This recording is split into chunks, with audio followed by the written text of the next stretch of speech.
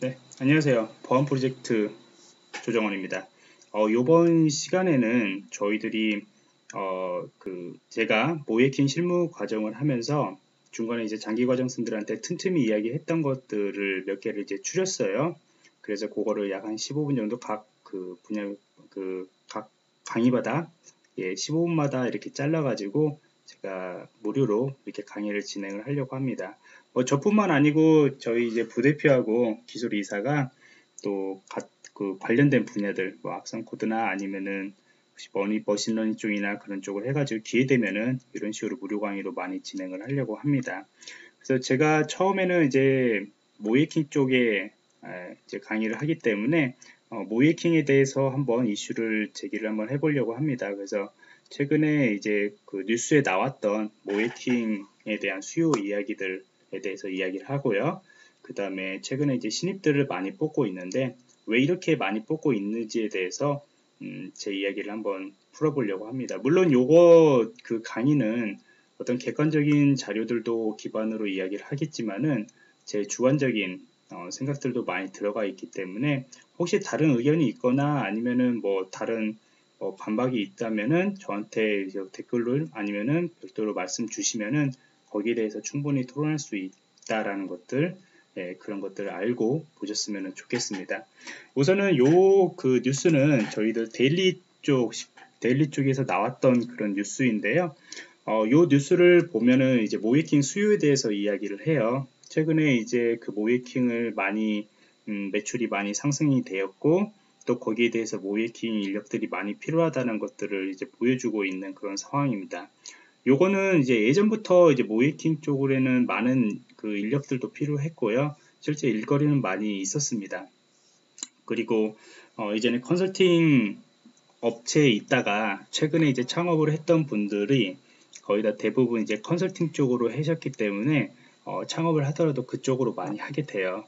그렇게 된다는 것은 이제 기술적 진단이나 관리적 진단 하신 분들도 거기에 인력에 있는 것이고 그다음 모이킹 인력들도 많이 필요로 하는 것이고요. 그런 추세입니다.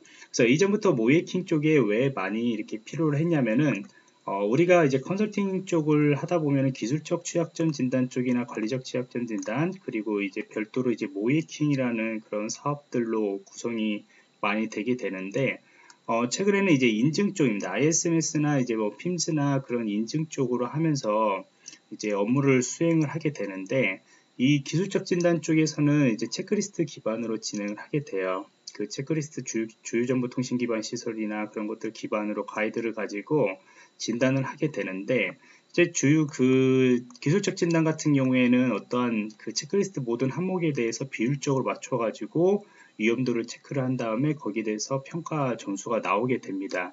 근데 이 평가 점수 같은 경우 이제 뭐 100점이라고 했을 때 실제적으로 뭐 이 회사는 80점 정도의 수준이다 라고 이렇게 해가지고 보안 수준은 90점이다 이런 식으로 해가지고 결과 보고서가 나오게 돼요. 근데 요거 이외에도 이제 모이킹이라는 것을 진행을 하게 되는데 이제 모이킹은 결과물이 이런 식으로 나오는 것이 아니고 실제 시나리오 기반으로 이제 많이 나오게 됩니다. 시나리오 기반이라는 것은 대외적으로 공개되어 있는 서비스를 가지고 내부에 침투하는 과정에서 도출되는 그러한 취약점들을 이제 그 보고서에다가 쓰게 되는데 그 결과물에는 개인정보 노출 부분들이 있을 거고 중요한 정보들 노출 부분들이 있을 거고 그런 것들이 다 화면으로 나오게 되는 것이죠. 그렇게 화면으로 나오다 보니까 그 보는 관점에서는 관리자가 보는 관점에서는 굉장히 크리티컬하게 더 이제 부각이 되는 것이고 중요한 부분들이 되는 것이죠. 그리고 요것들을 이제 우리가 서비스가 계속 이제 변경이 되고 뭐뭐 하다 보니까 오픈되어 있는 서비스도 많이 나와 그 나와 있는 것이고요. 그리고 오픈된 서비스에 대해서는 규정에도 이제 꼭 받아야 하는 것들이 명시가 되어 있는 것도 있고 어떤 서비스 같은 경우에는 어, 필요로 해서 모이킹을 진단을 하게 되는 겁니다. 그래서 웹하고 앱을 진단을 많이 하게 되는데 이것들을 이제 진단하는 것들이 수요가 이제 많아지다 보니까 점점점 이제 모이킹도 이제 인력들도 많이 필요로 하는 것이죠. 자 그렇게 해서 이제 매출들이 많이 상승이 되는 것이고 지금도 이제 모이킹 인력들이 많이 뽑게 되는데 자왜 신입들을 많이 뽑는지에 대해서 이제 또 어, 이야기를 할 때가 될 것 같아요. 요 이야기는 조금은 뭐 신입들한테는 좋은 기회가 될 수 있겠지만은 전체적인 시장으로 봤을 때는 그렇게 좋은 것은 아니기 때문에 같이 이렇게 보시면서 준비를 하시면 될 것 같습니다. 자, 예전에 이제 모의해킹 인력이 뿐만 아니고 저희들 그 IT 인력들 그리고 이렇게 프리랜서들이라고 많이 하죠. 이게 단기 계약을 하시는 분들이죠. 상주를 해서 단기 계약, 긴 계약을 하시는 분들도 있을 것이고 2주나 1개월 정도 해가지고 단기 계약들을 하시는 분들도 있을 것이고요. 아무튼 그런 분들은 이제 뭐 프리로 저희들이 이야기를 하게 되는데 이분들 같은 경우에도 회사에 다니다가 이제 나오셔가지고 근무를 하시는 분들이 거의 대부분입니다. 그렇게 따지면은 그렇게 하다 보니까 이제 조금 이제 단가 문제가 있는 것이죠. 그래서 모이킹 인력들, 모이킹 같은 경우는 이제 고객사에서 받아서 어, 떤 업체가 이제 수행을 하게 되는데 이 업체의 입장에서도 어, 비수기가 있고 이제 성수기가 있잖아요. 거예요. 경제가 이제 패턴이 있기 때문에요. 그러다 보면은 이제 모든 인력들을 다 보유하기가 리스크가 커요. 뭐 시장 보안 시장이 뭐 다른 엄청난 시장들도 아니고요.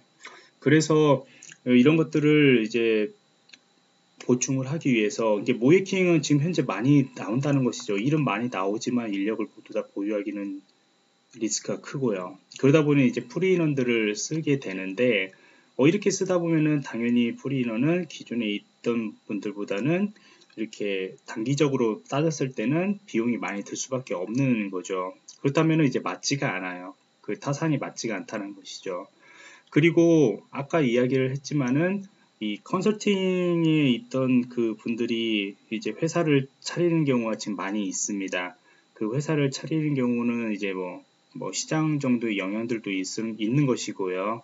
그리고 기존 시장들이 조금 어려움들도 있으면 당연히 나와서는 창업을 많이 하게 되는 것이죠.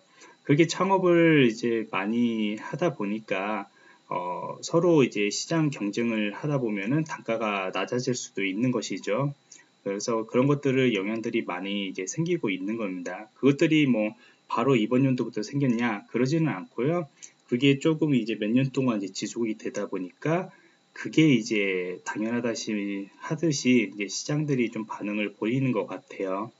어, 그러다 보니까 이제 그 이쪽 업체에서는 지금 현재 이제 B 업체에서 B 업체라고 했을 때이 B 업체에서는 이제 프리인원들을 많이 쓰기는 부담스럽고 그러다 보니까 어, 그리고 이 계속 지속적으로 오는 그런 모이킹 일 같은 거, 이 프로젝트들을 어, 들어올 때마다 이제 제한을 넣어야 하는데 그 제한을 넣을 때 이제 프리인원을 많이 쓰다 보면은 일정을 협의하기가 굉장히 힘들어요. 이게 당장 필요한데 또 찾아봤더니 없을 수도 있고 막 그러잖아요. 그런 현상들이 많이 발생을 하다 보니까 어, 이제는 어떻게 되냐면 그거를 알았던 그런 대표님들이나 아니면 작은 회사 쪽이나 그런 쪽에서 인력을 이제 보유를 하려고 합니다. 리스크를 어느 정도 감안하더라도 인력을 보유하는 게 훨씬 더, 더 효율적이라는 것이죠.